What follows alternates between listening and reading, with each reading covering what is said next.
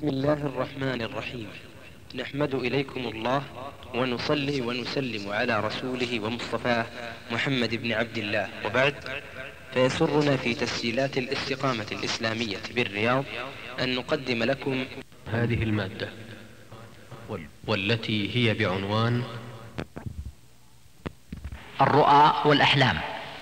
الحلقة الثانية. لفضيلة الشيخ يوسف المطلق. جزاه الله خيرا. بسم الله الرحمن الرحيم. الحمد لله رب العالمين. وصلى الله وسلم وبارك على نبينا محمد وعلى آله وصحبه أجمعين. أما بعد فقد ورد في البخاري عن النبي صلى الله عليه وسلم أنه إذا صلى سأل أصحابه فقال هل رأى أحد منكم من رؤيا؟ فيؤولها صلى الله عليه وسلم لأصحابه و أو كما ورد عنه صلى الله عليه وسلم. فمسألة تأويل الرؤى هذه مسألة علمنا إياها صلى الله عليه وسلم ودأب عليها كثير من السلف الصالح ولعل من أشهرهم محمد بن سيرين رحمه الله تعالى. لقاؤنا يتجدد هذا اليوم مع الشيخ يوسف المطلق جزاه الله خيرا الذي تكبد المشاق وأجل كثيرا من ارتباطاته بسبب رغبة الحضور إقامة لقاء ثان حول تأويل الرؤى ولأنها كثيرة. أسئلة الأسبوع الماضي فسنعرض أسئلة الأسبوع الماضي وإذا بقي متسع من الوقت نأخذ أسئلة هذا اليوم. فليتفضل الشيخ جزاه الله خيرا. ونحب أن نبدأ في الأسئلة مباشرة إن لم يكن عند الشيخ مانع بعد حمد الله والثناء عليه والصلاة والتسليم على المصطفى وعلى آله وسلم تسليما كثيرا. وبعد فإن فاقد الشيء لا يعطيه وإن غالب الناس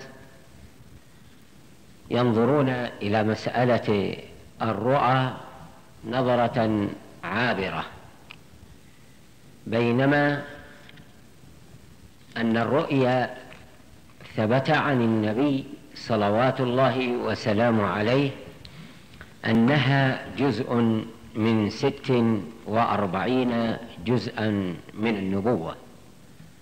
ولما انقطع الوحي بقي المبشرات. وفي آخر الزمن تتكاثر الرؤى. وعلى قدر صدق العبد تصدق رؤياه. ولا شك أن الرؤيا تبين مسارا للعبد ليس لتغيير دينه إلا إذا كان على ضلال. فقد تبين له نورا يسير به. والرؤيا فيها استعداد نفسي. وهي خير للمؤمن مهما أفزعته الرؤيا. وبشارة له إما بالأجر والثواب على قضاء وقدر وإما بتحقيق رزق بغير حساب أو أمل منشود. ولما كان الرب تبارك وتعالى. قد هيأ للإنسان هذا الفكر وجعل له طاقة محدودة. فإن المفاجآت العظيمة قد تغير حياة الإنسان إلى غير عقل. على سبيل المثال الفجعة الأولى تعطي الإنسان وجوارحه العقلية وقلبه استعدادا للاستقبال. فإذا فوجئ الإنسان فقد يحدث له ما لم تحمد عقباه. وهذا الأثر النفسي يكون أيضا فيما يفاجأ به العبد. فليس كل واحد يملك الإيمان القوي حتى يكون مستعدا في حياته لما يجري الله عليه. فمن المكارم الإلهية أن الله جعل هذه الرؤى تهيئة نفسية للإنسان. ولو نظرنا إلى بعض المصابين لوجدنا إصابته بسبب رؤيا علقت بفكره لم يجد لها حلا. وقد يصاب بمرض أو يصاب بضعف همة في أمر من الأمور في هذه الحياة. لكن الله تبارك وتعالى قد هيأ للعباد ما ينتفعون به في دينهم ودنياهم. ولكي نجد التحقيق النفسي في هذا الشأن فلو قيل لموظف صغير وفوجئ بالمرسولين إليه وهو يعمل مرتبة صغيرة فوق مرتبته ففوجئ وقيل له قد صدر الأمر بتعيينك كوزير في البلاد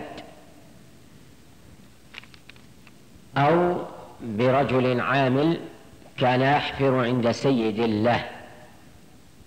فلما ضرب بفأسه وقع على كنز عظيم. ففي هذه الحال قد يتغير عقله أمام هذا الفرح ويفقد سابقا ولاحقا ولا يستفيد من حياته.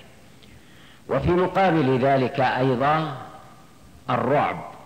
عندما يصاب العبد بالخوف فقد يهلكه. لكن الرب تبارك وتعالى بين أن الابتلاء بشيء ليس بكلية الخوف. قال تعالى ولنبلونكم بشيء من الخوف. هذه القاعدة التي هي الفرح والسرور.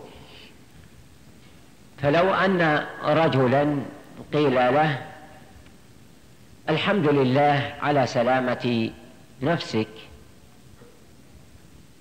ولعل الأهل والولد بخير إن شاء الله. أصبح عنده من الاستعداد النفسي ما يتقبل ما سيكون. ثم بعد ذلك قيل نظن أن الأهل والولد أو الولد والأهل قد مضوا إلى الله يا لك من الأجر والثواب. فهو يتقبل هذه المصيبة باطمئنان. لكن لو فوجئ وعاد إلى الأهل والولد أنا بالله عائدون للجميع. ونسأل الله العافية. فوجد المال والأهل والولد رمادا. في هذه الحال ما كان عنده من استعداد إلا ما استثنينا ممن أكمل الله لهم الإيمان. ففي رؤيته لهذا الواقع قد يفقد عقله. لكن إذا تأملنا وجدنا أن الرؤى هي بمثابة تدرج له فيما سيأتي إلى العبد فهي للمؤمن طيبة. سواء أفزعته أم لم تفزعه. ولنسمع قول الباري تبارك وتعالى في هذه القاعدة. قال تعالى ما أصاب من مصيبة في الأرض ولا في أنفسكم إلا إلا في كتاب من قبل أن نبرأها. إن ذلك على الله يسير.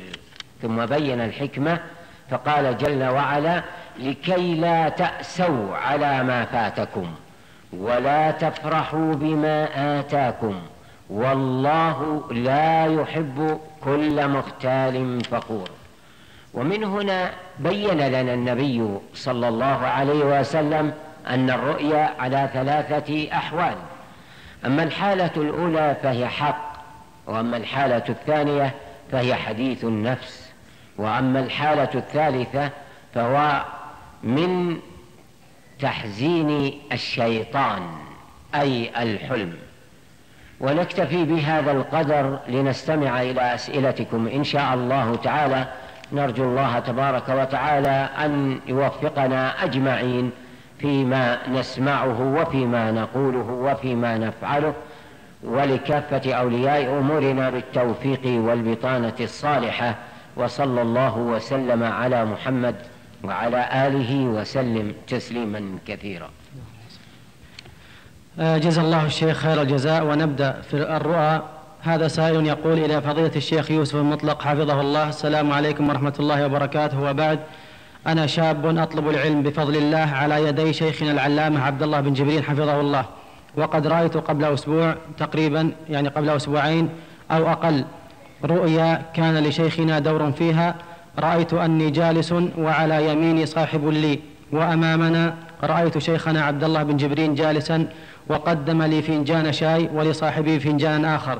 ثم نظرت إلى فنجاني فوجدت شايا فيه ليمون وفنجان صاحبي ليس به ليمون فأخذ شيخنا فنجالي وشرب منه قليلا ولم يشرب من شاي صاحبي وبعد هذا بقليل تقطعت الرؤيا فما تأويلها وجزاكم الله خيرا. بسم الله الرحمن الرحيم. هذا شاب يطمع بأمر مساعدة. لا أعلم هل هي هذه المساعدة مساعدة مالية أم مساعدة معنوية. ولا يلزم أن تكون من فضيلة الشيخ بن جبريل ولكن البشرى له بأنه سيتحقق له بعض الشيء ليس ما أراده كلا وإنما الصاحب سوف لا يحصل على شيء. امرأة إلا ما شاء الله. نعم. امرأة توفيت في حادث سيارة وقد رأتها أختها في المنام حيث رأتها أنهم جالسين على مائدة طعام ويأكلون والمرأة المتوفية تنظر إلى أختها التي رأتها وهي تبكي أي المتوفية حيث عيناها محت... حيث عيناها محشرة بالدموع. وبعد مدة رأتها أختها التي رأتها في المرة الأولى وهي في الجنة وقد زادت بالعافية والسرور والبشر آمل تفسيره جزاكم الله خيرا. هذه المرأة ستحصل على شيئين. أمل في نفسها لا أعلم عن حالتها هل هي متزوجة أم غير متزوجة. فإن لم تكن متزوجة فستتزوج بمشيئة الله سريعا. وإن كانت متزوجة وهي تأمل الحمل فسيتحقق لها بمشيئة الله. وأما بالنسبة للمرئية وهي الميتة فهي ستفرح بدعاء يجري لها غير ما كان في السابق بمشيئة الله تبارك وتعالى. يقول أخبرني أحدهم أنه رآني أنا وإياه في مكان فسيح جدا ممتلئ بالرجال الذين يلبسون ثيابا بيض. وفي هذا المكان ما يشبه المظلة جلست أنا وهو تحتها. هذا رجل سيوفق. للجلوس في حلقة ذكر وينتفع بذلك بمشيئة الله. رأى أحدهم أن امرأة قريبة عارية تماما علما أنه يعيش عند قريبته هذا رجل أجنبي عنه وعنها. رؤيا المرأة العارية له معان كثيرة فإن كانت ملتزمة فهي قد أثيبت بالإكرام. لهذا الرجل. وإن كانت ليست ملتزمة فتحتاج إلى نصح وإرشاد. امرأة رأت امرأة كانت مملوكة لأبيها وأعتقت فرأتها في المنام مرتين. الأولى طلبت منها سكين والأخرى طلبت منها مكحلة. هذه المرأة المملوكة يظهر أنه قد غفل عن عن الإحسان إليها. فالسكين تمثل إعطاءها من الصدقة أو الإحسان للحاجة. وأما المكحلة فإنه يأتيها شيء يسير منهم لكن لا يقدر بشيء يكفي لشأنها. يقول رأيت فيما يرى النائم أن البلاد احتلت من قبل اليهود ورأيت أن عشرة من الشباب الضالين عن طريق الحق شاركوا في الحرب ضد اليهود بعدما التزموا ولكن بعد الحلم بعدة أسابيع مات أحدهم حقيقة فما تفسيرها عندك؟ جزاك الله خيرا. إن صدقت هذه الرؤيا فسيتحقق بعد فترة يشبه أن تكون فترة طويلة. عودة القدس إلى المسلمين بمشيئة الله تبارك وتعالى. الله يقول فضيلة الشيخ يوسف المطلق حفظه الله أرجو تفسير هذه الرؤيا وهي أني رأيت في المنام أني متعلق بخشبة وهي الطريق الوحيد من المملكة إلى مصر. ثم توسطت ثم توسطت الخشبة ثم أدركني الموت ثم رأيت أن القيامة قامت ثم رأيت أن المكان مسود بي ثم رأيت أني في الجنة ثم رأيت أبي وأخي الصغير ورأيت أحد أحدا من شباب جماعة المسجد واسمه خالد من الملتزمين. السائل هذا له صاحب منافق وسوف يتخلى عن هذا المنافق بعد فترة من الزمن وسوف يلتزم هذا الرائي. فإن كان ملتزما فسوف يتزوج وإن كان متزوجا فسيجعل الله على يديه خيرا لهذا المنافق بالهداية. وأما رؤياه بأنه في الجنة فهذا تحقيق زواج. إن لم يتزوج فسيتزوج وإن كان متزوجا فسيتزوج امرأة أخرى بعد فترة طويلة من الزمن لكي لا تغضب زوجته إن كانت تسمع. يقول فضيلة الشيخ رأت أم لولد لولد, لولد لها مستقيم على طاعة الله أنه قد حلق لحيته في المنام وهو مسرور بذلك وهذه الرؤيا قد رأتها ابنتها وإحدى الابنتين رأت في نفس الرؤيا أنه حلق لحيته وقد ظهر منها شيب قليل وهذه رؤيا أخرى لنفس الشخص. رأت إحدى أخواته أنه تخلف عن صلاة الفجر ثم جاء أبوه فأخذ, فأخذ يقطعه قطعا ثم وضعه في طشت فأخذته امرأة من أقاربه وجعلته على رأسها. تبحث عمن يصلي عليه تصعد به السلم وتنزل. بقي واحدة امرأة ترى بكثرة ثعابين في المنام مع أنها لم تجد منهم ضرر فقط يخرجون عليها يخرجون عليها ألسنتهم وينوون عضها الرؤيا الأولى أنه حلق لحيته. إن كان شابا فهو محتاج إلى مال. وإن كان موظفا أو تاجرا فسوف ينفق ماله في شيء ينفعه. والرؤيا الثانية الذي تخلف عن صلاة الفجر وجاء أبوه وقطعه؟ نعم. وحملته المرأة في طشت وبحثت عمن يصلي عليه. هذا بحاجة وباضطرار إلى شيء من المال. إن لم يكن الآن بحاجة فهو سيكون بحاجة عن قريب. لأن الرؤيا الأولى مما تؤيد الرؤيا الثانية. ولكن إذا كان كبيرا يمكن أن تقام قضية ضده. ولكن ولكن الخطر على المال ولا خوف عليه بمشيئة الله. أما المرأة التي ترى بكثرة ثعابين في المنام فهذه امرأة إن كانت تخرج للأسواق فهؤلاء الذين ابتلوا بمرض في قلوبهم يلاحقونها. وإن كانت ليست من هذا الصنف ولا تخرج فهي عليها ديون تحتاج إلى سدادها. وإن لم يكن وهي امرأة جميلة فهناك من يحسدها فلتتحصن بالورد بمشيئة الله. إن كانت في التعبير الأخير فلتتحصن بالأوراد. والورد يكفي قليله عن كثيره وكثيره أعظم من قليله. أما القليل سورة الفاتحة آية الكرسي آخر سورة البقرة إن تيسر قل هو الله أحد قل أعوذ برب الفلق قل أعوذ برب الناس. تقرأها صباحا وتقرأها مساء. ففي ذلك تحصين لها بمشيئة الله تبارك وتعالى لها ولغيرها.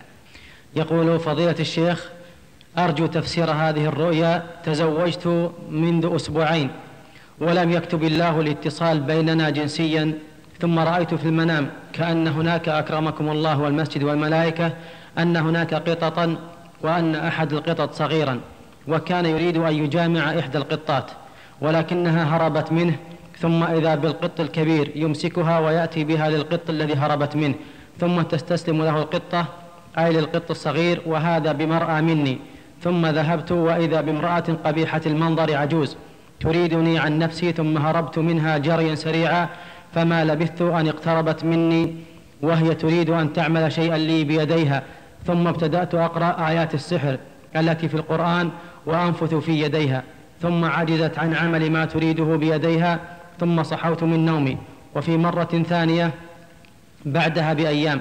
رأيت كأني أكرمكم الله في دورة مياه وكأن عندي حيوانات وإذا بثور أسود كبير جدا قد أدخل رأسه مع الباب وهو يريد الدخول علي وإيذائي ثم أخذت أضربه بيدي وهو لا يحس بضربي وما منعه من الدخول علي إلا لكبر جسمه حيث لا يتسع له الباب وأردت الاستنجاد بالمسلمين ولكن ليس حولي أحد ثم استيقظت من نومي.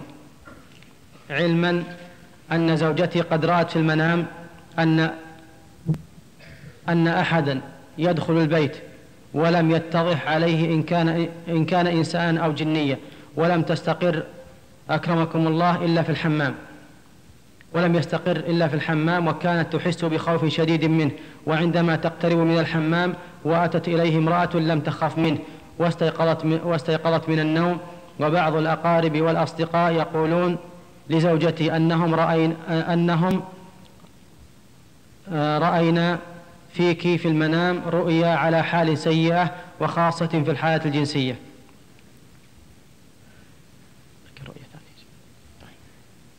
آه، ويقول آه، رأيت أو آخر يقول رأيت في المنام أخي المتوفى, المتوفى وهو يقول لي لماذا تعطي الناس ولا تعطيني؟ الرجل أحد أمرين إما عمل له عمل لكن العمل ضعيف بحسب الرؤيا وإما أنه حسد وهو الأولى والحسد على عدد القطط. وبالرؤيا ما يبشر بالخير وهو أنه يبحث عن قراء لا يأخذون درهما ولا دينارا. يبحثوا عن قراء بعدد القطط. ويقرؤون ما بين سرته وما بين فخذيه ينفثون نفثا عليه. اسبوعا أسبوعين ثلاثة أسابيع إلى سبعة وعشرين يوما. وبإذن الله ومشيئته سوف يزول عنه هذا البلاء. هذا هو معنى الرؤيا. أما قضيته في الرؤيا الثانية وقضية الثور الأسود فيظهر لي أيضا أن الرجل ليس فقط معاقا عن أهله بل أيضا عنده كسل عن طلب الرزق. فهذا هذه الرؤيا بشارة له بانه سوف يعينه بعد الله تبارك وتعالى رجل سيد قوي وسيعين ويفتح له في أمور دنياه. وبالنسبة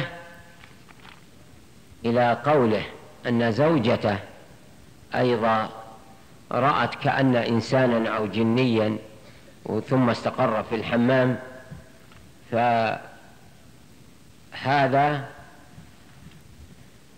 واحد من أقاربها سيحسن إليها. الله أعلم بالإحسان إلا أنه يظهر لي أن الإحسان من قبيل المادة. وأما رؤيا الأقارب والأصدقاء أنهم يرون المرأة في حال سيئة وخاصة في الحالة الجنسية فبشرى الاثنين بأن الله سيزيل عنهما هذا البلاء بعد فعل الأسباب بمشيئة الله تبارك وتعالى. أما بالنسبة إلى رؤيا المتوفى وأنه قال تعطي الناس ولا تعطيني. فمعناه تصدق وليس معنى الصدق أن تكون للميت ولكن معناه تصدق لأن الصدقة تدفع البلاء ولأن الصدقة تعالج البلاء في السماء. فلا بد مع فعل الأسباب أن يتصدق أيضا. يقول آه، يا شيخ إذا كان الإنسان يرى كثيرا في منامه أي أنه يصلي جماعة إماما أو مأموما فما تعبيرها؟ هذا رجل فاعل خير إما لنفسه وإما لغيره بالإحسان.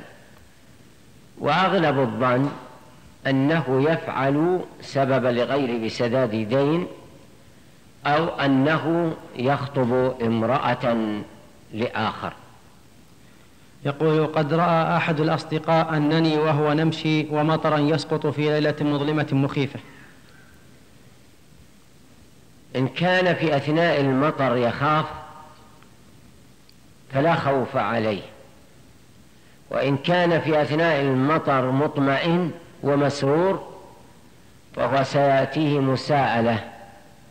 ليوم أو يومين أو ثلاثة وليس عليه من خطر وليست الرؤيا أيضا مفزعة. يقول فضيلة الشيخ أو تقول أنا طالبة وموظفة في آن واحد وأم لطفلة أعرض لفضيلتكم رؤياي لتأويلها مما آتاكم الله من علم. نفعنا وإياكم المسلمين أجمعين بعلمكم وجزاكم الله عنا خير الجزاء. وجعله في موازين أعمالكم إنه سميع مجيب. أما الرؤيا فهي أنني رأيت منذ سبعة أيام الليلة التاسع والعشرين من شهر جماد الثانية في المنام وكأنني راكبة مع أخي عبد الرحمن في سيارته. ودار بيننا حديث عن اتباع أنظمة المرور. قدمت خلالها نصائح عديدة لأخي عن أهمية الالتزام بتلك الأنظمة ومخاطر الإعراض عنها أو تجاهلها. ذلك أن أخي كان وقتها فاقد لرخصة القيادة. واستمارة السيارة وبعد ذلك توقفنا أمام أرض رحبة لا أعلم كيف نزلنا من السيارة حتى وقفنا أمامها وكانت أرض غريبة كل الغرابة ذلك آه، لما كانت تحمله من الجثث جلهم من الصبيان الذكور وفئة قليلة من الرجال الكهول وكانوا في أوضاع متباينة فمنهم المعاق ومنهم السليم وكانت هذه الجثث وسط ماء متسخ به بعض الأخشاب والأعواد الرفيعة. وكلهم عرايا كما خلقهم الله. فأخذت أضرب لأخي المثل بهم وكأنهم نتيجة حوادث سيارات وكان من بينهم طفل يتنفس. فكنت أصرخ في أخي وأقول إنه حي فكيف يوضع هنا؟ وكذلك رأيت أطفال من أعمار مختلفة لا يتجاوز أكبرهم الحادي عشر وهم أحياء. وكان هناك بعض من إخوتي أمام هذه الأرض وهم منصور وعصام وصالح. وكان عصام يقلب في الجثث هو ومنصور وهو يتعجب من حالهم وخاصة أحد الأطفال منهم. كما رأيت طفلا وسط هذه الأرض وليس من أهلها. يستخرج جثة طفل حي من بين الجثث ويعمل على إزالة الأوساخ منه وغيرها من الأحوال الغريبة لهؤلاء. وكان بجوار نهاية هذه الأرض يجلس أخي منصور وهو يأكل من إناء عميق مملوء بالقرصان المطعم باللحم والأرز. وكأنه يطلب من أمي أن ترفع له جزء منه للعشاء. ما تأويل هذه الرؤيا؟ جزاكم الله خيرا. هذا أخوها رجل يظهر أنه سوف لا يمسك المال. وسوف تناصحه أن عليه أن يمسك إلا فيما كان موافقا وفي عقل. وفي أثناء ذلك ستتحول المرأة بمشيئة الله بعد فترة من الزمن إلى محسنة تسعى ليس من مالها ولكن من مال غيرها ومن مالها اليسير لمساعدة الضعفاء والمساكين من النسوة. وسوف يخلف الله على هؤلاء. إلا أن الأخ الذي أشارت إليه فأكل من هذا الطعام سوف يجد كدرا وتعبا لكن لا يطول الكدر والتعب بل سيثيبه الله على ذلك وقد لا يتعدى كدره وتعابه اياما تعد بالثلاثة بمشيئة الله. يقول سؤالي هو كيف الرؤيا هذه رؤيا رآها أحد إخواني ويريد منك أن تعبرها وقد تكررت معه ثلاث مرات ورؤيا والرؤيا هي الآتي.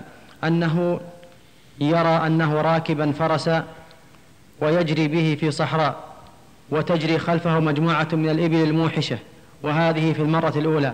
وفي المرة الثانية رأى نفس الرؤيا وفي المرة الثالثة رأى نفس الرؤيا ولكنه رأى كذلك شخصا يكره شخصا يكره رأسه رأس إنسان أو يشبه رأسه رأس إنسان وجسده جسد بعير فما هو تعبيرها؟ هذا رجل إن كان لم يتزوج فسيتزوج امرأة صالحة لكنها جميلة سيؤذى بها. ولكن ستنجو بمشيئة الله تبارك وتعالى. وأما بالنسبة للرؤيا الأخيرة فسيأتيه بعض النقص في المال لكن لا يضره بمشيئة الله. يقول أو السلام عليكم ورحمة الله وبركاته. أما بعد رأيت أم المؤمنين عائشة رضي الله عنها وهي تقرأ على بعض الصحابة. وكنت معهم بعض الأحاديث التي كانت مكتوبة على ورقة معها والتي منها قوله صلى الله عليه وسلم المسلم للمسلم كالبنيان يشد بعضه بعضا والآخر قوله صلى الله عليه وسلم مثل المسلمين في توادهم وتراحمهم إلى آخره فأفيدون جزاكم الله خيرا. إن كانت متزوجة هذه الرائية فستؤذى بقول ستؤذى بقول. ولكن الله يكرمها بإيمان قوي. لا تبالي وسيكون من حولها آه، سيكون من حولها لا يقبلون هذا القول الذي قيل فيها. وهذا يمضي حول أيام يسيرة.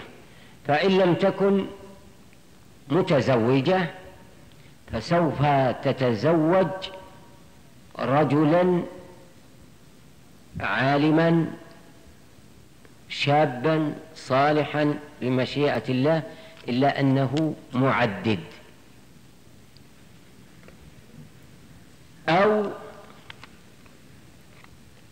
أنها ستتزوج زوجا شابا ليس معه أحد لكن عمره غير طويل. والله أعلم وكل ذلك من مشيئة الله. يقول فضيلة الشيخ رأيت شخصا في المنام وهو يؤذن فأرجو توضيح هذه الرؤية جزاكم الله خير هذا الرجل لا بد من معرفة أحواله.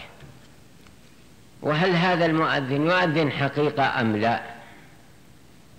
على أي حال إن كان الرائي شابا فسيأتي إليه رجل يعرض عليه ابنته.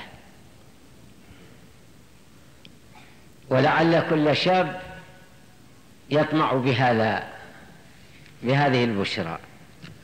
أما إن كان متزوجا فسوف يؤدي عمرة أو حج أو عمرة قبل دخول أشهر للحج قبل دخول أشهر الحج أو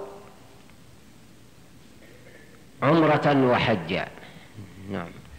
يقول مشيئة الله. نعم. رأت زوجتي أنني وإياها نسير بالسيارة فوق ماء البحر ثم تكرر رؤيتها للبحر مرتين خلال أسبوعين. سيشتركان في تجارة فإن كانت لا تملك شيء فيمكن أن تبيع الحلي عندها وتشترك معه. لكن يظهر لي والله أعلم أن الشراكة لا تدوم. مشيئة الله نعم. يقول يا شيخ رأيت أن الجهاد قام في إيران وأنني جاهدت وقتلت ثلاثة, ثلاثة اثنان برشاش معي وثالث أصبته بالرشاش ولم يمت فرجفته فمات. وأسر زميل لي وأسر زميل لي رجال فذهبت أحضر كشافا لي. قد اشتريته حقيقة وهو في السيارة فلم أجد السيارة. هذا الشاب أو هذا الشخص سيلتقي ببعض رافضة لكن سينتفع منه بعضهم والآخرون يصرون على ما هم عليه. من ضلال. نسأل الله العافية. يقول رأت زوجتي أن عجوزا شمطاء حدباء قبيحة المنظر تركض نحوي وكأنها تعرفني وكأني آه، قد بها شيء وكان معها خرقة وضربتني في ظهري وسقطت ورب وسقطت وربطت فمي بهذه الخرقة. يقول أيها الشيخ قد أولتها أنه سيأتي مال ولم يأتي المال أو قد أولتها أولتها أنه سيأتي مال ولم يأتي المال حتى الآن مع العلم أنه لم أحصل على ترقية من العمل ولم يأتي مال حتى الآن. أولا أن التأويل قد لا يعاجل الإنسان. والتأويل أقصاه ما يقارب الأربعين عاما وقد يزيد أيضا. والأخ يظهر لي أن له أشهر. ولا شك أنه سيأتيه مال لكن بعد شدة. فإن كان الشخص الآن لا يزال في الشدة فسيأتيه إن شاء الله. نعم. يقول رأيت أنني أراضي أختي وأطلب أن تسامحني وقبلت رأسها ويدها. تكرر هذا الحلم أكثر من ثلاث مرات مع العلم أن هجري لها بناء على أن الشيطان الذي دخل من زوجتي قال أي قال إنها هي التي وضعته. ويقول الشيطان اذهبوا إلى الصندوق الأسود الذي في مستودعها حتى تفك السحر وأخرج من زوجتك.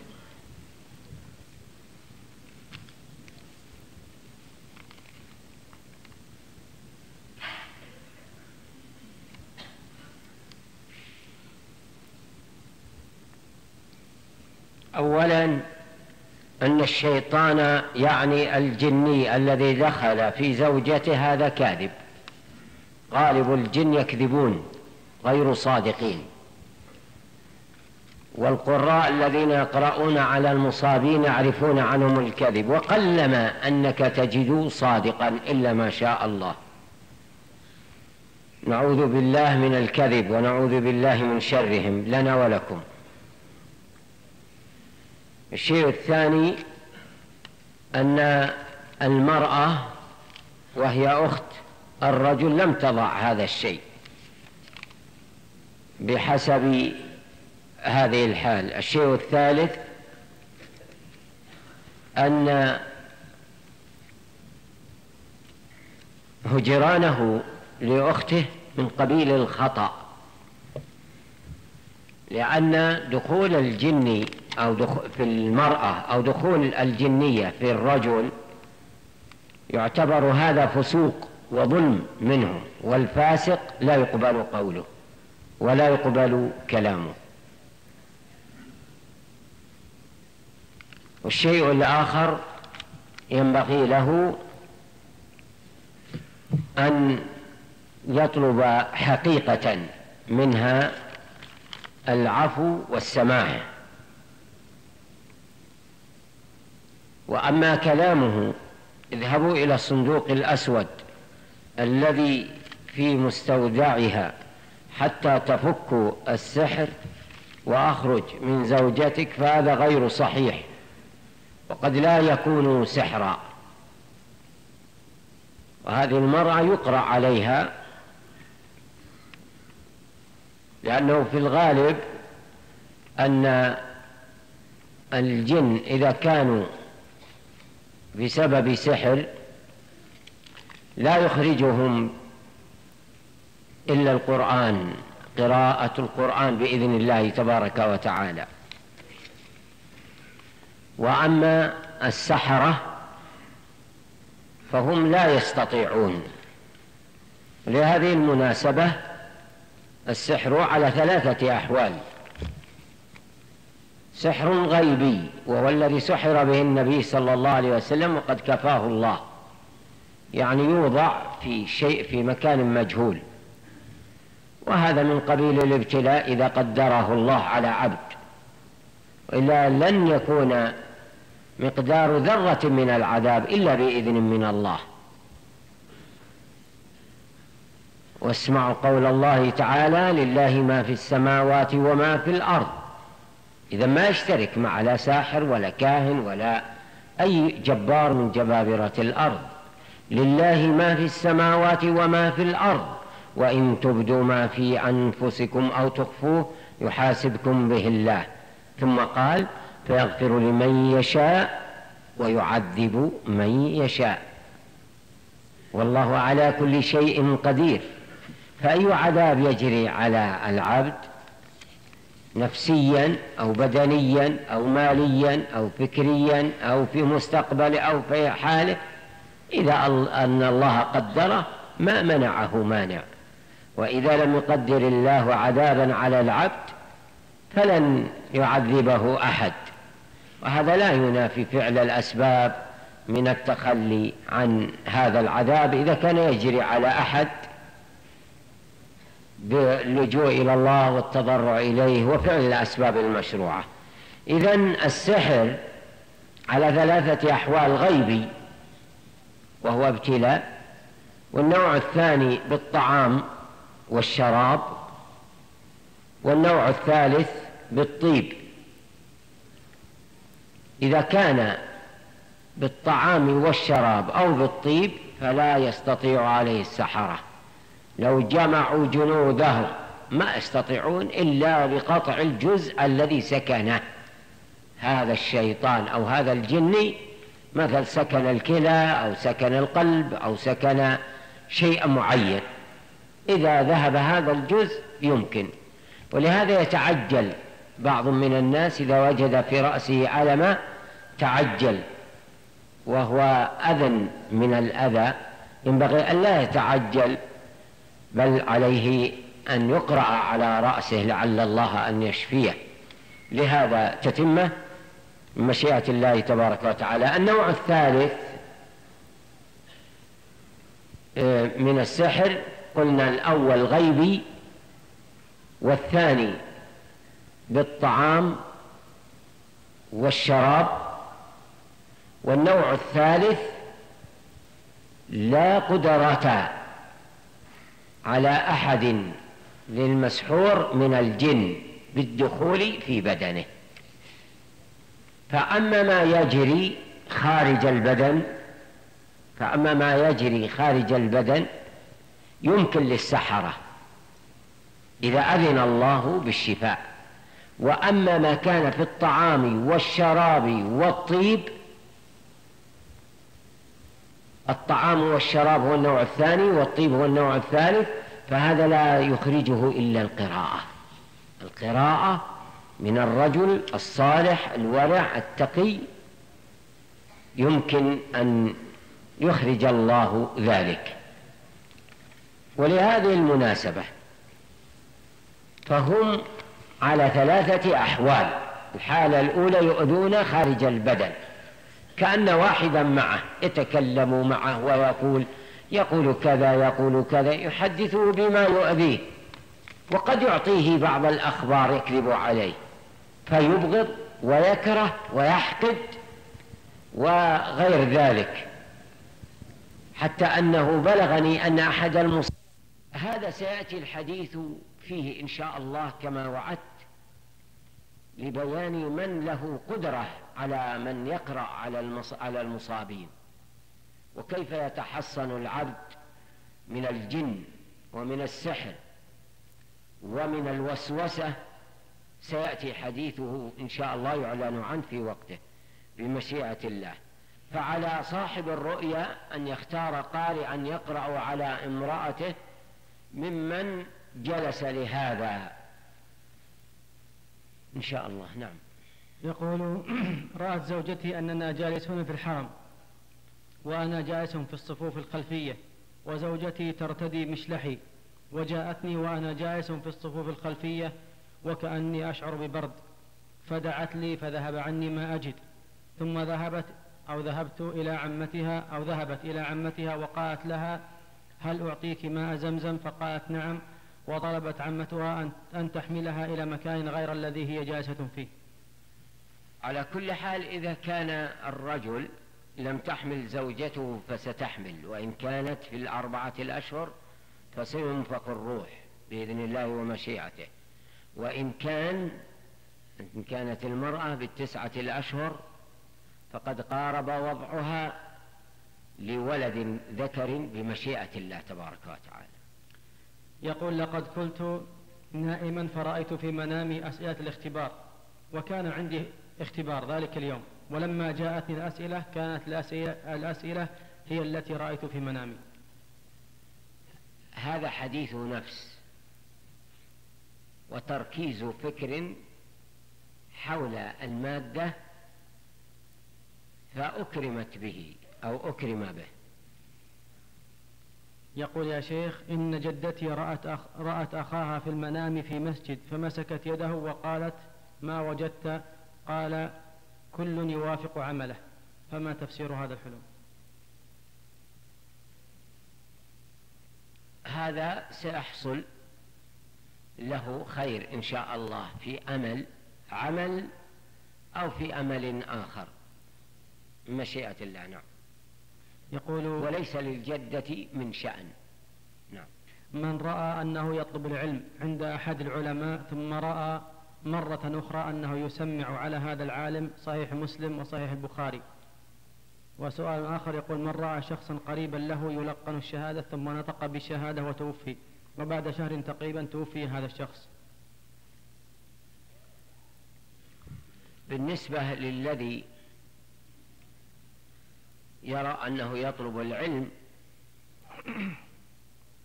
ورأى مرة أنه سمع صحيح مسلم وصحيح البخاري.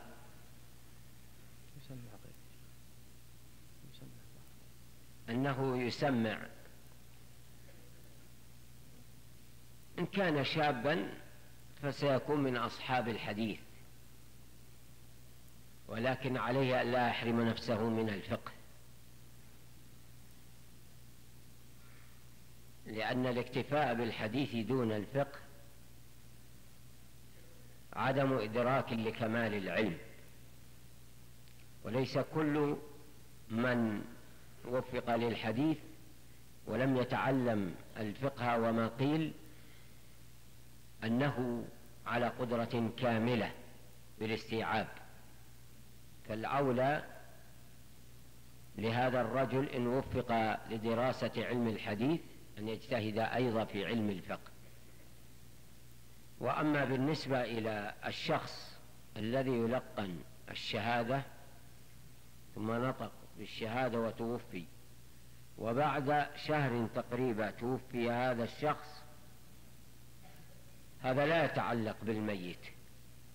هذا يتعلق بالرأي سيتزوج فإن كان متزوجا فسيزوج مولية له يعني كابنة أو أخت. مشيئة الله. نعم. يقول رأت زوجتي أن لي ثلاثة أولاد مع العلم أني أني متزوج منذ ستة أشهر. هذا سيأتيه ثلاثة مبالغ من المال. مشيئة الله نعم. يقول رأيت أن جيراننا ألقوا في الشارع نخل نخل صغير كان عندهم فلما ذهبت لآخذه وجدت ابن خالي قد سبقني فأخذه قبلي. فعلم أهلي بذلك فقالوا اذهب واشتري واشتر واشتره منه بخمسمائة ريال. لا أستطيع أن أحكم عليهما ولكن يحتمل إذا كان الرائي والذي رآه لم يتزوجا فسيتزوجا في آن واحد. ويظهر لي والله أعلم أنه سيتزوج واحد مخطوبة الآخر.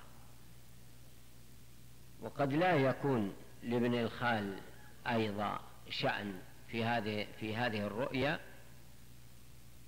ولكن قد في المعنى الثاني قد يتزوج امرأة مات زوجها عنها بمشيئة الله.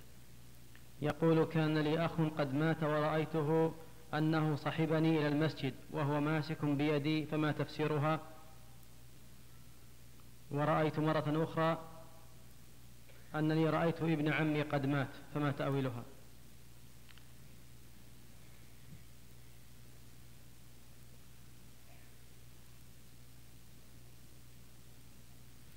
هذا الرجل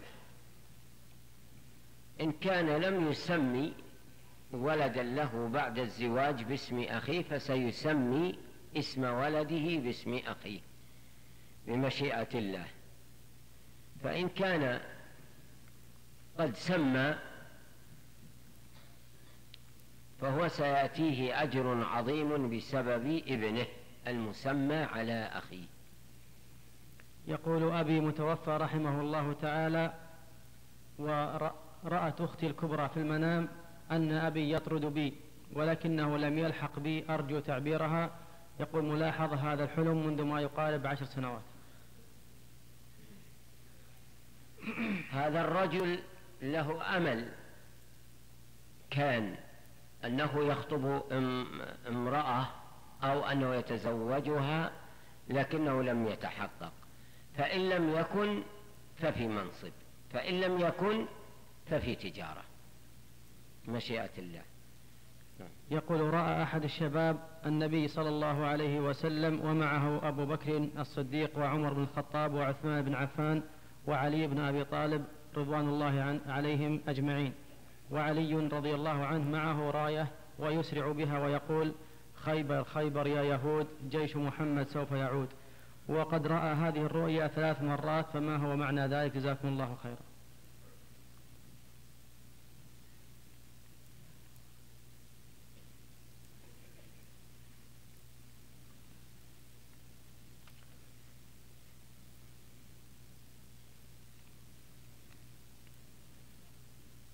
هذه الرؤيا هي التي أيضا تؤيد بعودة القدس إن شاء الله. ولكن هذه الرؤيا فيها شبه تحديد للفترة من الزمن. والله أعلم هل تقاس بأشهر بقدر أعوام أبي بكر وعمر وعثمان وعلي عن كل عام شهر أو بنفس المدة أو بأقل. الله أعلم لكنها مبشرة بمشيئة الله. والمعنى الثاني وهو يمثل عشرين بالمئة هو أن الرجل سيتولى بعد تخرجه عملا وظيفيا ثم يحال إلى القضاء ثم يترك القضاء ويعود إلى العمل. ثم يحال إلى عمل آخر وفيها بشارة له بطول العمر وبأجر عظيم كثير كبير على وفاته بمشيئة الله. يقول شخصان رأيا في ليلة واحدة أنه يجري أنه يجري خلف حية. فما هو سبب توافقهما في ليلة واحدة وما معنى الرؤيا وما معنى هذه الرؤيا تفسير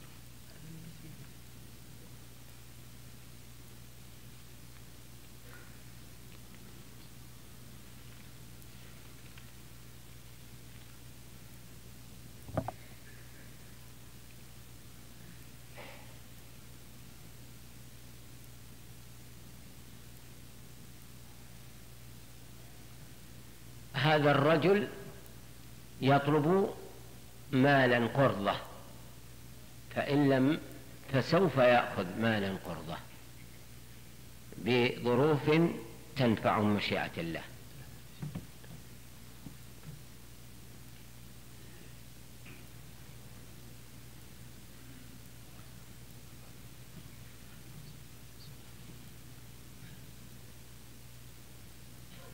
الحمد لله.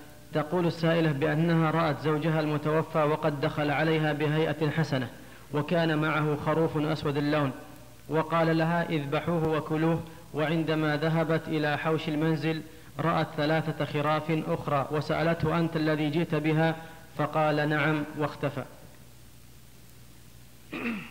جوابه إحدى حالتين أما الحالة الأولى فيمكن أن يغبطوا في البيت.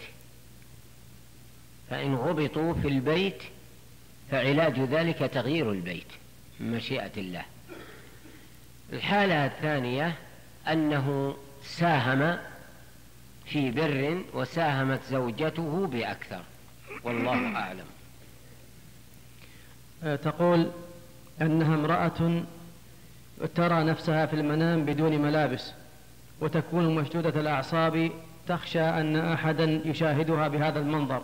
وهذا الحلم تكرر على عليها عدة مرات وتقول وكذلك رأيت أنني أغتسل وزال ما في جسمي من وسخ وبقربي عند الاغتسال بعض, بعض أقارب زوجي وكنت خائفة من رؤيتهم لي على هذه الحال رجاء تفسير هذا هذه الأحلام لأنها شاغلتني جدا.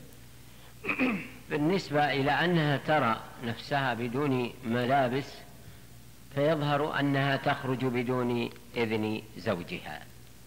فإن كانت ليست كذلك بل تخرج بإذن زوجها فهي تعمل عملا صالحا تخفيه وهي أعرف بنفسها. بالنسبة إلى أنها رأت أنها اغتسلت هذه صدقة خرجت منها ونفع الله بها. يقول يقول رأيت أني وزيرا للإعلام أكثر من مرتين. أفيدونا جزاكم الله خير.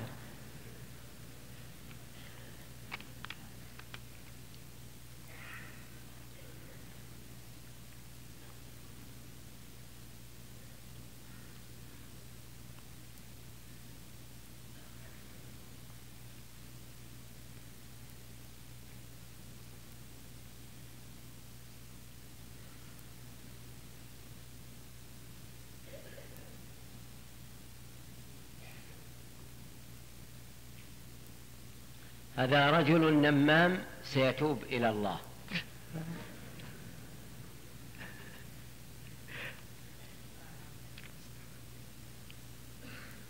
تقول أنا فتاة ملتزمة ولله الحمد. عندما قمت وصليت قيام الليل ثم صليت الفجر رأيت وكأني في أحسن زينة. كنت واقفة أنا وأمي خارج الملحق, الملحق ودخلت الملحق لوحدي. ورأيت أبا بكر وعمر رضي الله عنهما ولكن رأيت أبا بكر رضي الله عنه مليء الجسم وعمر رضي الله عنه نحيف فجلست أمام أبا بكر وكأني أشكو, أشكو إليه أحوالنا الآن. عندنا رجل مريض وهو أخي أرجو التأويل وجزاكم الله خيرا. وتقول وأيضا رأيت وكأني آمر بالمعروف وأنهى عن المنكر وأيضا كأني نازلة من درج. المسجد الحرام والناس يصلون وصوت الإمام صوت جميل فقمت وصليت وسجدنا سجود سجود الصلاة. إن كانت غير متزوجة أو متزوجة سيكون بينها وبين زوجها بعض الشيء الذي لا يضرهما بإذن الله. فلا ضرر عليهما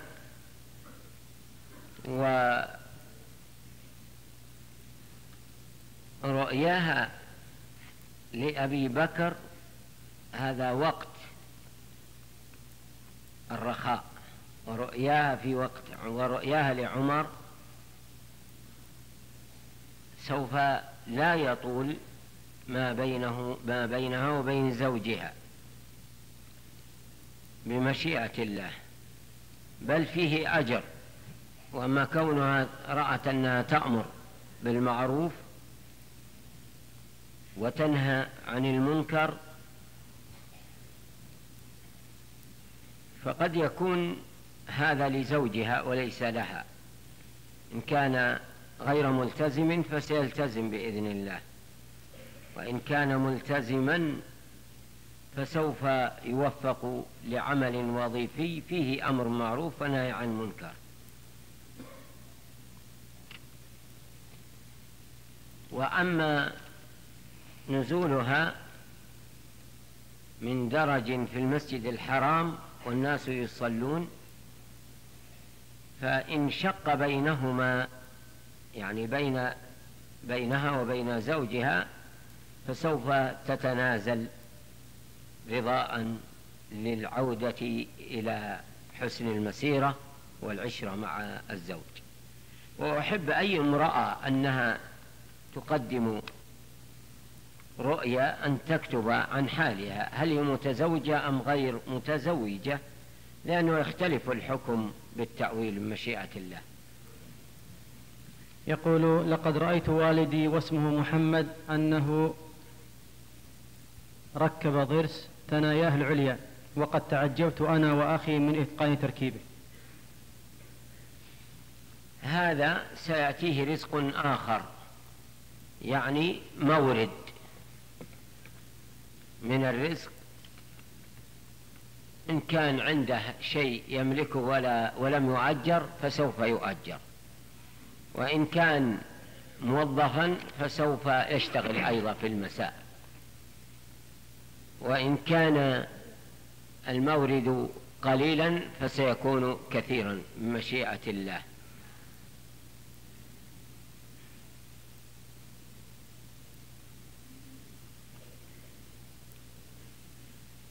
إلا أن هناك معنى صغير ضعيف حيث أنني لا أعرف حاله. فليقبل قولي. هو معناه أنه إذا دخل عليه درهم سوف لا يخرج منه إلا بكل كلفة. وإني وإن هذا التأويل لا يمثل إلا خمسة بالمئة. وأرجو ألا يكون كذلك. فهو أعرف بحاله. يقول رأيت أن مشلحي انقلب وبره من لون بني إلى رصاصي هذه الرؤيا ضمن حلم لم أعي منه شيء. أيها الشيخ سبق أن أولتها لي ولكن لم أفهم تأويلك للرؤيا وقلت تأويلها ذكر ينقلب أنثى أو أنثى ينقلب ذكر. صحيح أنا أولت له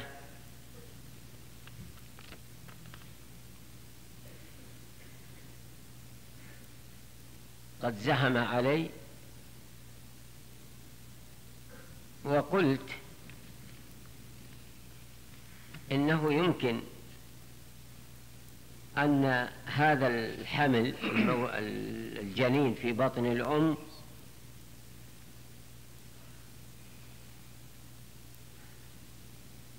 يظن أنه أنثى بواسطة الاله التي تنبئ عن نوعية الحمل. فيقولون أنثى مثلا. فإن قالوا أنثى فهو ذكر.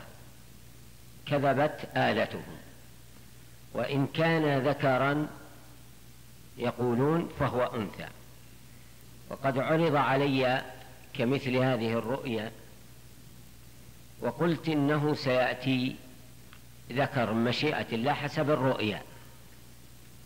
فقالوا إن الأشعة أثبتت أن الجنين في بطن أم تلك المرأة في بطن تلك المرأة أنه أنثى.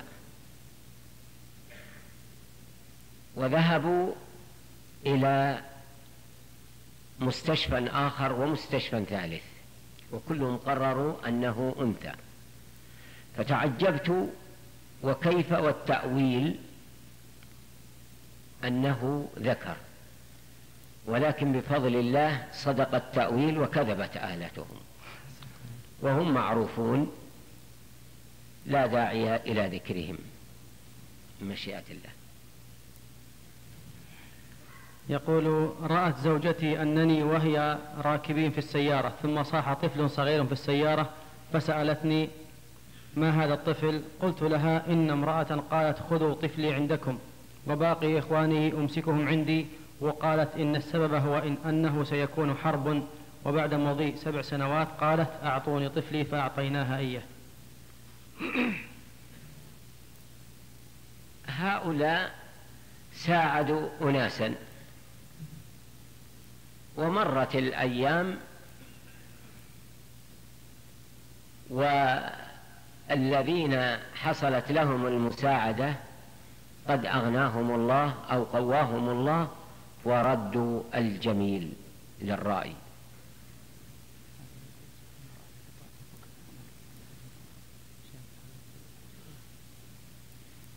جاءني هذا السؤال أن المرأة التي رأت أبا بكر وعمر في الملحق وباقي الرؤيا هو أنها شابة غير متزوجة ولا تدرس. على كل حال لها تأويل وهو أنها قد تتزوج قاضيا من القضاة. وقبيل القاضي أنها قد تتزوج ولكن قد لا يكون وفاق ولا يتم الزواج وقد لا يتم العقد. فإن تم فإن تم فقد يكون الزوج هو الذي أخذها سوف يكون قاضيا بعد فترة من الزمن. وهذا هو الأرجح أنها تتزوج رجلا مآله إلى القضاء. فإن لم يكن إلى القضاء فسيكون برجال الحسبة الآمرين بالمعروف والناهين عن المنكر وهذه بشارة لها. وأعتقد أن السامعين الذي لم يتزوج منهم كل يرشح نفسه لكن الحمد لله أن الشيء مجهول. نعم. يقول لقد رأيت أختي وهي ميتة وملقاة في البيت وعورتها بادية وأهلي يبكون. فدخلت عليهم وقلت لهم لم تبكون عليها ولم تبكوا على أمي مع أن أمي أفضل منها. فقالوا إن أمنا في الجنة إن شاء الله. أما هذه فلا نعلم ما مصيرها ولكم جزيل الشكر. الأخت لا شأن لها. الأخت لا شأن لها ولا خطر عليها ولم يصدر منها أيضا بلاء. وإنما سيحصل في البيت شيء يفرح الأسرة بكاملها. وعندهم هم الله أعلم بحسب الرؤيا فعندهم هم أو غم أو اهتمام بشيء البشارة لهم عن قريب بعد الرؤيا بمشيئة الله بالفرج أو بتحقيق الأمل بإذن الله ومشيئته. يقول فضيلة الشيخ يوسف قد احتلمت مرتين تقريبا أنني قد أتيت مرأة أخي قبل الأكبر. أي يعني قد زنيت بها فما تفسيره؟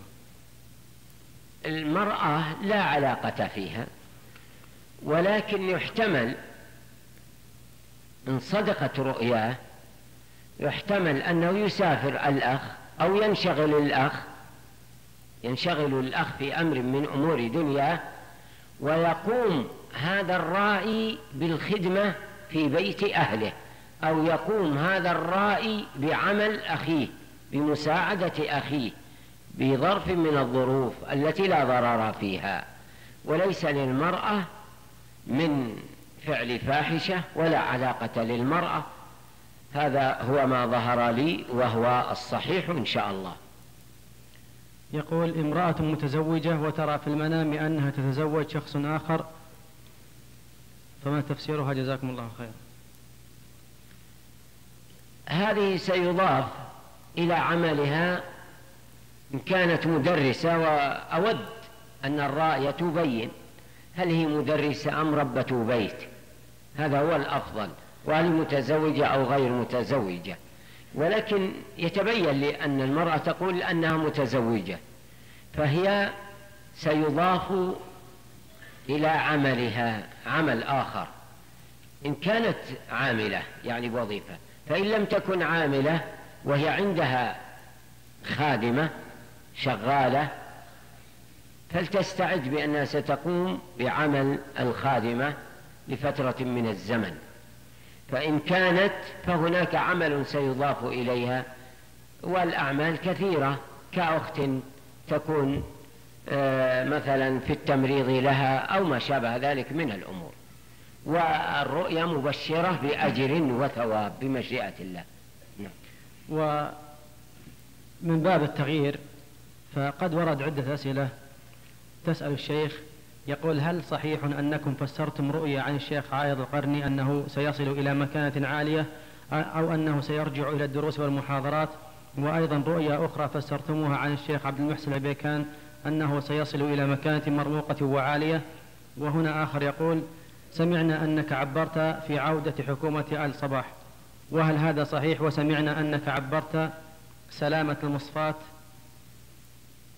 السعودي وهل تعطينا بعض المشاهد التي حصلت؟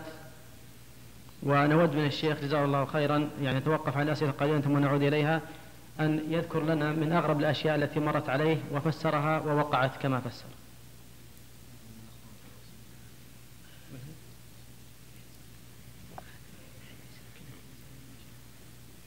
السائلة تقول هل صحيح أنكم فسرتم رؤيا عن الشيخ عايض وعن الشيخ العبيكان نعم فسرنا بأنهما سيعاد سيعودان للعمل مشيئة الله. وأنتم تعلمون أن الحكومة وفقها الله تعتبر العلماء كأبناء لها وتعتبر الأشخاص المحبوبين من أقرب أيضا الأحبة إليها. فعين السخط لا تطول عرف عن هذه الولاية. أسأل الله تبارك وتعالى أن يجعلها سببا لعزة الإسلام والمسلمين وأن تكون دائما في خدمة هذا الدين في المشارق والمغارب وأن لا يجعل أولياء عليكم كمثل الأمم الأخرى التي تنال البلاء والعذاب وأن يصلح الأولياء في تلك الأمم. فلا شك ولا ريب نحن نعد عودتهم بإذن الله ومشيئته إن لم يكن بالأيام فبالأشهر إن شاء الله. وبالنسبة إلى السؤال الآخر أنني عبرت عن عودة حكومة آل صباح. قبل سبعة أشهر أو ثمانية أشهر من إقامة الحرب اتصل بي محمد الشمري وهو معروف ممن يقرأ على المصابين في النسيم. اتصل بي وعرض علي عدة رؤى. واتصل بي غيره عرض علي عدة رؤى. وأمليتها عليه أمليت عليه الجواب. واستأذن أن تنشر بجريدة السياسة الكويتية في صفحة كاملة. وقد شاركني بالجواب شخص استبشر ولكنه لم يعبر. ومعلوم أن أي إنسان يدلي بدلو بالتعبير بالتبشير لا بأس إلا أنه لا يجوز له أن يقول سيحصل كذا. يقول خير يقول هذه بشارة لك هذا طيب ومأذون له شرعا. أما أنه يقول سيحصل كذا وكذا وهو لا علم له فهذه كهانة لا يجوز وعليه أن يتوب إلى الله. وغالب الكتاب الذين كتبوا في التعبير غالبهم قد تحملوا إثما بذلك. لأن هذا علم يمن الله به على من يشاء من العباد فلا يجوز للمؤمن أن يدلي بدلوة إلا على علم وعلى بصيرة.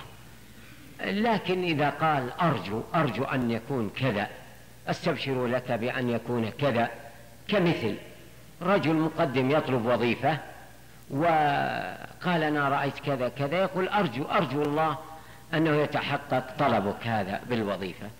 هذا لا حرج كمثل هذا. أما أنه يقول سيحصل كذا وكذا وكذا عينا بلا علم وبلا بصيرة فهو آثم بدون شك. وينبغي لنا أن ندرك أن التعبير كمثل الفتيا. ينبغي للمؤمن وكمثل الفتوى. ينبغي للمؤمن أن يتوقف عما لا علم له. كما جاء ذلك في كتاب الله. فكذلك أيضا بالنسبة إلى التأويل هذه موهبة من الله قد تكلمت في الحديث في اللقاء الأول إشارة عن ذلك أنه يوهب الشخص منذ أن يبلغ العشرة الأعوام.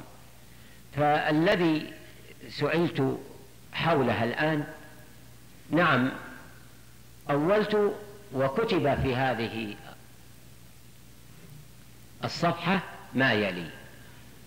أن آل صباح سيعودون بمشيئة الله. وأن الجيوش ستقتحم الكويت بمشيئة الله. وأن القيادة ستكون للجيش السعودي بمشيئة الله. وأنه سيتم ترتيب العراق. والذكي يدرك معنى ترتيب العراق. وأنه سوف يكون صحوة إسلامية في الكويت. بمشيئة الله وأنه سيكون صحوة إسلامية في العراق. بمشيئة الله. هذا سجل بالصفحة قبل بدء الحرب بسبعة أشهر. عليكم أن تبحثوا عن هذه الصفحة ومن وفق فليزودني بهذه الصفحة لأنني قرأتها وفقدتها.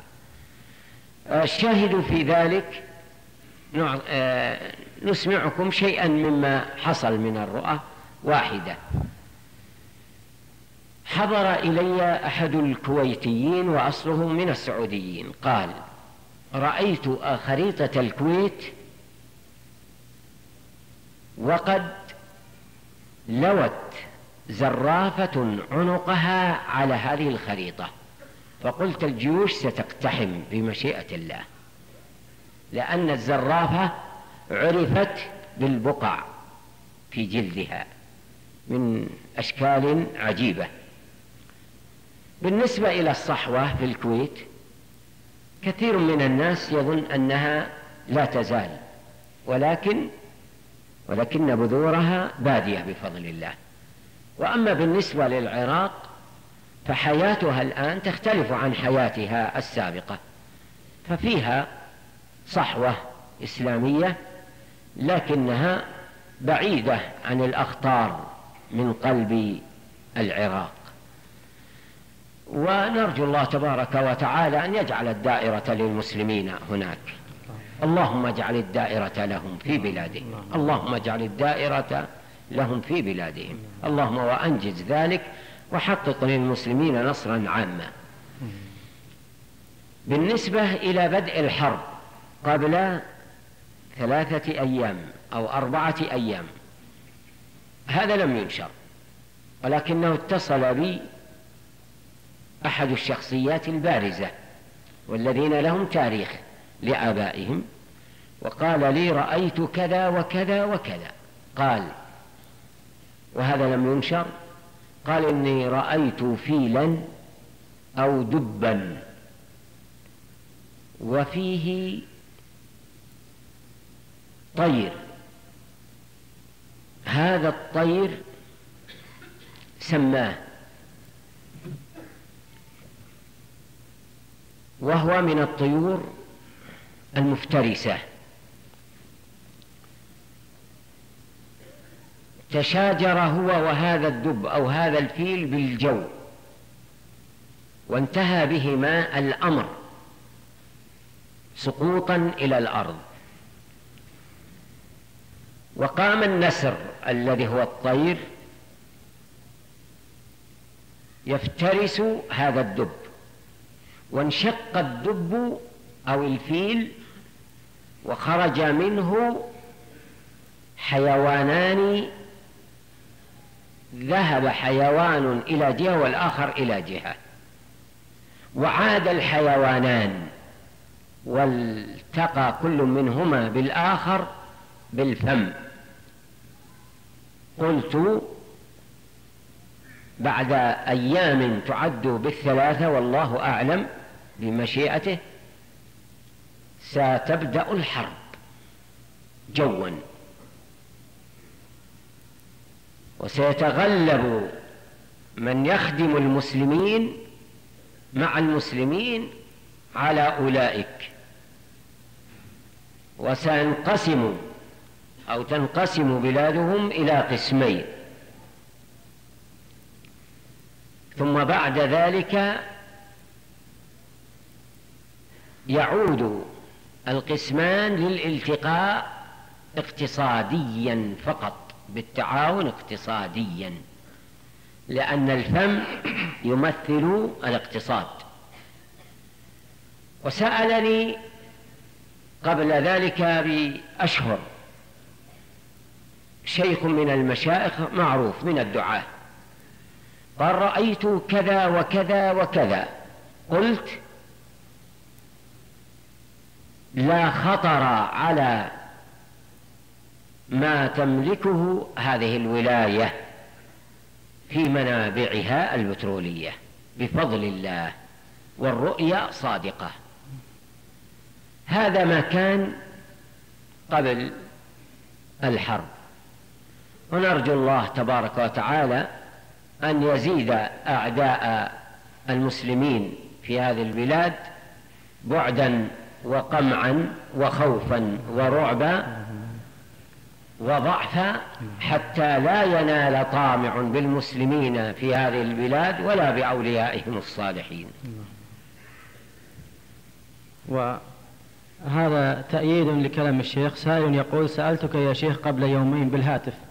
بأنني رأيت أنني متزوج زوجة أخي وقلت إنني سأخلف أخي في عمله بعد سفره. وبالفعل في اليوم الثاني اتصل أخي بي وطلب مني أن أقوم بعمل ما بعد سفره إلى خارج البلد وجزاكم الله خيرا. والأسئلة أسئلة الأسبوع الماضي لم تنتهي بعد وجاءت أسئلة أضعاف أضعافها. فما رأي الشيخ لو يعني بعد الصلاة؟ لمدة ثلث ساعة. لا مانع إن شاء الله. جزاك الله خير إن شاء الله. إذا بعد الصلاة ما كان مشغولا فجزاه الله خير ونصلي إن شاء الله بعد الصلاة نكمل الأسئلة